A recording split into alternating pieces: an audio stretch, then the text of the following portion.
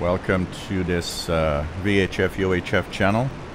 So that might not look super exciting, but it is a satellite that you see that line here that I'm receiving. This uh, digital hash that you hear is coming from a satellite which is called an ORBCOMM satellite. Uh, ORBCOMM satellites are, there's a lot of them. Um, a lot of them are still active. They're all active pretty much in the 137 uh, megahertz range from 137 to 138 megahertz. And there are several frequencies that are active. So this one is, um, I don't know which one because I would need to fire up my um, my uh, satellite tracking software, but it's one of the ORBCOMM satellites.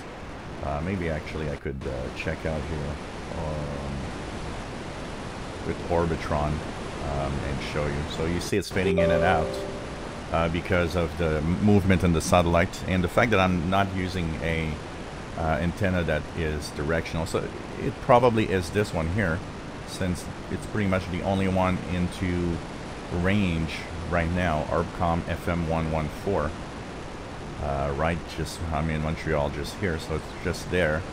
If you look at the uh, distance and all it's uh, right now um, it's at azimuth is 202 degrees which is uh, west southwest actually and it's moving south. So this is probably what I'm getting. Um, it's the only ORBCOMM and ORBCOMMs like I said are all in the in that range. So um,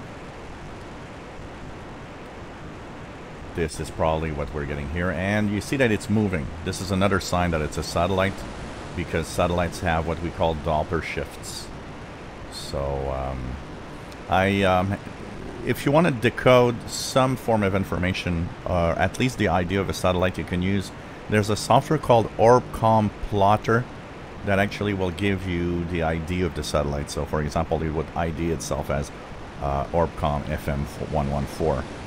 Uh, as for decoding anything from here, this is uh, made for satellite link uh, for phones, uh, and this is encrypted, so there's no way of unencrypting that conversation or anything that's happening with the with the info in here right now of the ORBCOMM satellites. So pretty strong signal actually uh, when it comes to the higher peaks.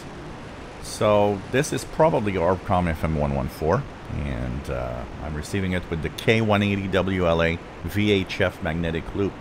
So this is also what I want to test today, how good it is at receiving satellites uh, at the same time on the VHF range.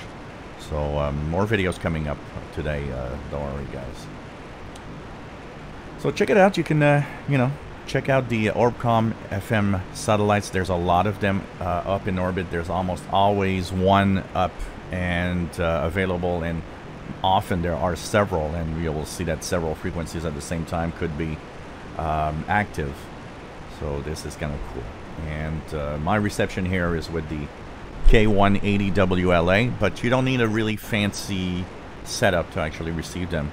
Uh, if you have a, just a little portable scanner radio with rubber ducky, go outside and um, tune when one is passing over and uh, check out uh, if you can receive it uh, outside. You should actually hear it even on a small portable scanner.